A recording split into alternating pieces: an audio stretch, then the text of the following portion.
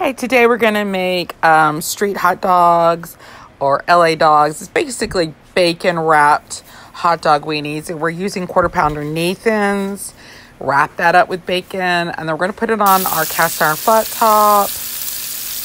And you just want to keep frying them and turning them over so that every single side is completely cooked. In a side cast iron, we're going to cook down some sliced onions and bell peppers. We use two medium onions and two bell peppers, and we're using this Badia and some Himalayan salt and pepper and garlic.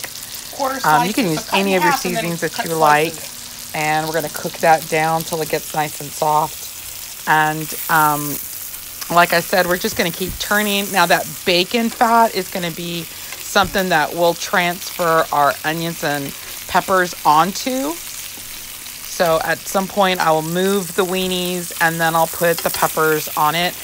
Now we're going to get our condiments. We have tomatoes, relish. You could put pickle spears in it, mustard, ketchup, and mayonnaise.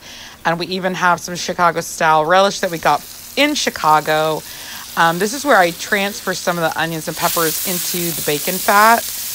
And um, that's just going to be added flavor for those who want that, who doesn't want that and um, we're just going to keep cooking those. Um, my hot dog weenies I like without bacon, so those are mine. I even like to toast the buns on the flat top, just, you know, get them nice and warm. And then we fix our dogs the way we want. That's my husband's plate. Um, he likes all the peppers, but he doesn't like ketchup, mustard, or mayonnaise except for that one dog. I like everything, and I even put a slice of tomato on each one. Like and subscribe.